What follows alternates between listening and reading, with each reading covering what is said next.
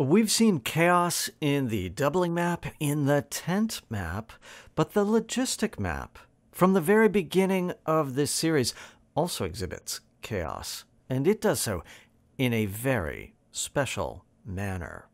Let's recall the logistic map from way back in Volume 1. The logistic equation is xn plus 1 equals r times xn times 1 minus xn.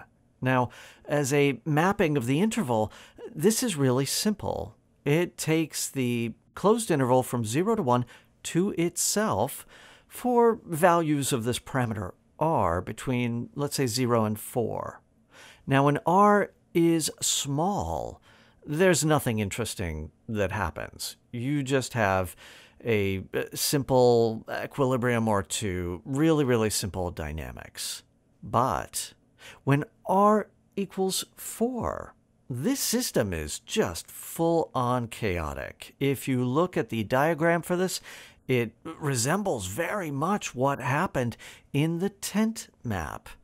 And in fact, it is very much like the tent map. There is full symbolic dynamics on uh, sequences of zeros and ones. That whole thing, that works in this case. So the question is how does chaos develop? There's nothing there when r is small. When r gets all the way up to 4, we have full chaos. How did that come into being? Well, that has to happen through bifurcations, and in this case, through period doubling bifurcations. Let's see how this works. If you go back, look at the analysis that we did on this system initially, maybe reproduce it yourself, you can find easily that there are equilibria at x equals 0 and at x equals 1 minus 1 over r. Now, this latter equilibrium, 1 minus 1 over r, that guy is going to be stable for all values of r between 1 and 3. But at r equals 3, we have a bifurcation at that equilibrium. It is a period doubling bifurcation. It's a supercritical period doubling bifurcation. That means that for r past 3, that stable equilibrium becomes unstable. And right past this bifurcation, we have a stable period 2 orbit. And this works when r is bigger than 3, but it doesn't last forever. It lasts for values of r up to 1 plus square root of 6. And that's about 3.449 dot dot dot dot dot. Now what happens at 1 plus square root of 6? At this parameter value, there's another period doubling bifurcation but not a period doubling bifurcation at an equilibrium. No, it is the periodic orbit itself that undergoes a period doubling bifurcation. Whoa, that's kind of interesting. How does that work? What does that lead to? That leads to a cascade of period doublings. Let's draw a line representing the parameter r when we are before r equals 3. When r is less than 3, we have a stable equilibrium, or if you like, a stable periodic orbit of period 1. Past r equals 3, that stable equilibrium becomes an unstable equilibrium. So an unstable period 1 orbit and a stable period 2 orbit because of the period doubling at r equals 3. But then at r equals 1 plus root 6, that is approximately 3.449, then we have another period doubling bifurcation. We still have that unstable equilibrium. We still now have that period 2 orbit, but it becomes unstable. And what gets created is a stable period 4 orbit. That period doubled orbit itself doubles in period.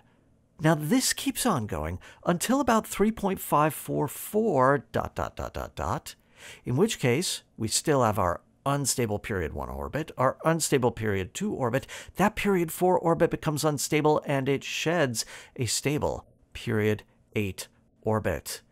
Is there yet another period doubling bifurcation? Of course there is. It happens at about 3.564 dot dot dot dot dot. in which case we're left with a stable period 16 orbit and then this uh, collection of unstable periodic orbits. Now, this keeps going and going and going and going until what? Until at about 3.56969, a whole bunch of other digits, you can keep going and going on that one, everything accumulates. It limits up to an infinite sequence of period doubling bifurcations that all pile on top of one another. And past this point, this very critical point, what do we see? We see chaos. Before this accumulation point, everything was fine. There was no chaotic dynamics. The only periodic orbits were the ones that came from period doubling bifurcations. But past r equals, I don't know, approximately 3.57, this logistic map gets chaotic. But it has some chaotic features.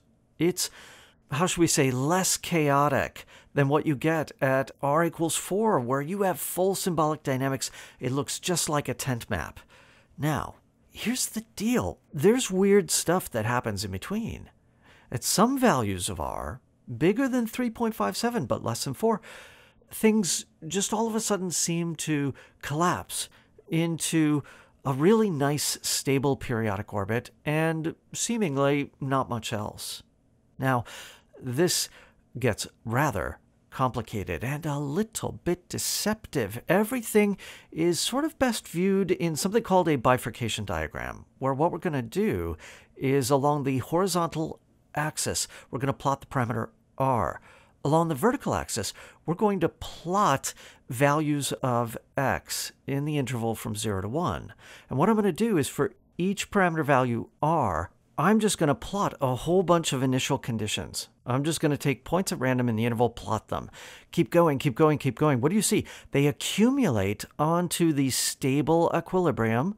And then as we get to that period doubling bifurcation, they accumulate onto a pair of stable points on that orbit. And then after that, immediately it seems there's this sequence of additional period doubling bifurcations that accumulate. And then past that, there's just a whole bunch of random stuff going on. Now, I want you to take a look at that diagram and see just how quickly these period doubling bifurcations occur. And I also want you to notice that out past that accumulation point into the chaotic region of the parameter space, sometimes you see these little windows where it looks like there's a stable periodic orbit. Is that in fact the case? It is indeed the case if we tune our parameter to a particular value where we're in one of those nice stable windows, then we can see things such as, for example, a periodic orbit of period 3, a periodic orbit of period 3 that is stable, that is attracting, seemingly, all the other initial conditions. Now, where did that come from? That guy did not come from a period doubling bifurcation, because it's period 3. Now, there are a lot of other mysteries sitting inside this diagram, but what I want you to do is beware and be cautious because even when we are in a situation where it seems like this system is nice, where you've got this, I don't know, stable period three orbit, mm-mm, there's still chaotic dynamics inside of here, but it's hiding. That is not at all obvious, and we have a little bit of unpacking to do in order to understand that phenomenon.